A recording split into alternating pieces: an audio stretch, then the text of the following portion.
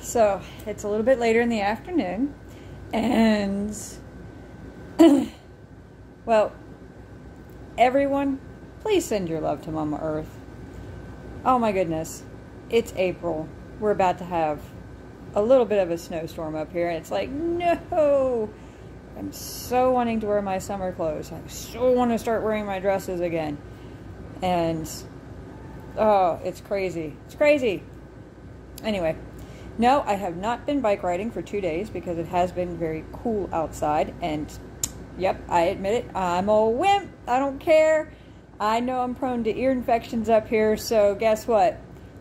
I'm taking my steps for my physical well being. I will say that I had, uh, there was a, an acquaintance friend of mine that she came through, saw me at work, and was like, guess what I did. I said, What did you do? She's like, I went and got a bike. I was like, No way. So, because she had previously told me a few things, and I was like, Girl, just get a bike. You're gonna love it. It'll be so much fun. You're gonna have so many memories, and you're gonna make new memories.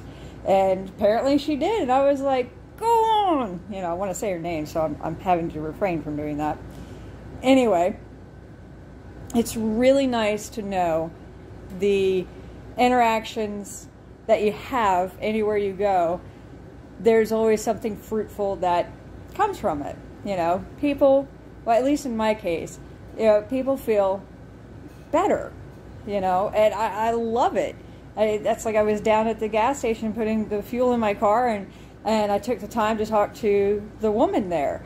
I don't want to say her name, too, I'm sorry. And she's, I mean, we're just loose, very, very much acquaintances and she was telling me about her day yesterday, and I was like, I just, I just listened. Sometimes people just want somebody to listen to, but I'm in there enough that she knows that one, I'm not going to necessarily repeat anything she's going to say. Two, she knows she's going to be in a much better place after I leave. And three, it's just nice to greet each other star to star. Okay? You're meeting each other at the higher vibration. You're emitting that radiance. I'm not kidding when I say the joy comes from here. You are that powerful. Okay? When I sit here and wish someone, I wish you nothing but the best, it's legit. And it's amazing because so many are sitting here going, I don't believe you.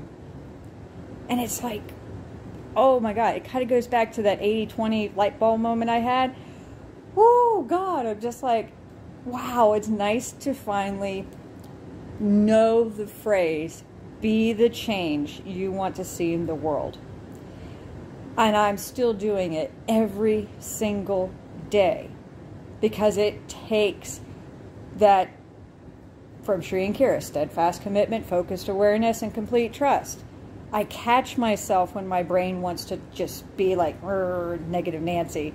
I catch myself when the emotions want to go flaring. I catch myself in those knee jerk reactions. It's all based on a past experience that no longer serves you. So be your empowered self, love yourself. Please forgive people. I now unconditionally forgive and release. It's free at the website at sriandkira.com. Go look for it. 35 times a day, 35 times at night. Or you can sit there and do all 70.